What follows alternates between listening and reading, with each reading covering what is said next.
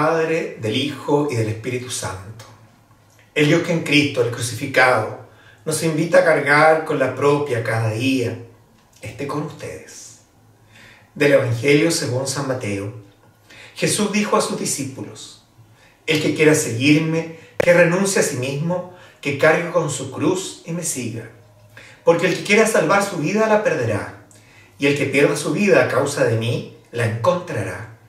¿De qué le servirá al hombre ganar el mundo entero si pierde su vida? ¿Y qué podrá dar el hombre a cambio de su vida?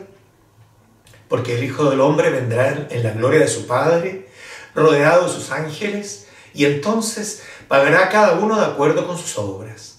Les aseguro que algunos de los que estén aquí presentes no morirán antes de ver al Hijo del Hombre cuando venga en su reino.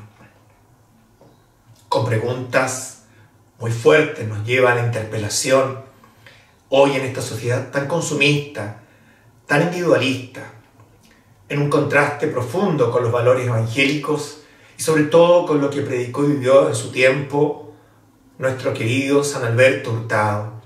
En este mes de la solidaridad deberíamos preguntarnos nosotros, ¿de qué le sirve al hombre ganar el mundo entero si pierde su vida?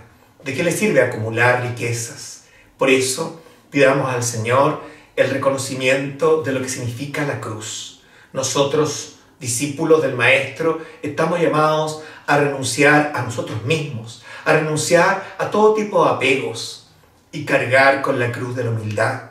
Y cargar con una cruz que inclusive a veces sea la de otro Cristo.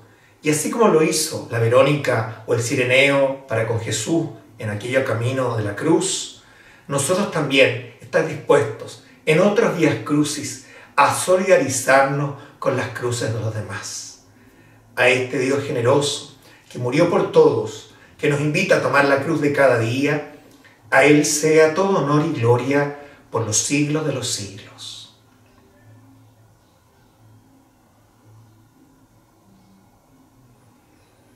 Creo, Jesús mío, que estás real y verdaderamente en el cielo y en el santísimo sacramento del altar. Te amo por sobre todas las cosas y deseo vivamente recibirte dentro de mi alma. Mas, no pudiéndolo hacer ahora sacramentalmente, ven espiritualmente a mi corazón.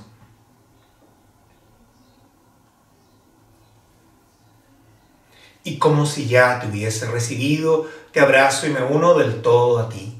Señor, no permitas que me separe de ti. Que le bendiga aquel que es Padre, Hijo y Espíritu Santo.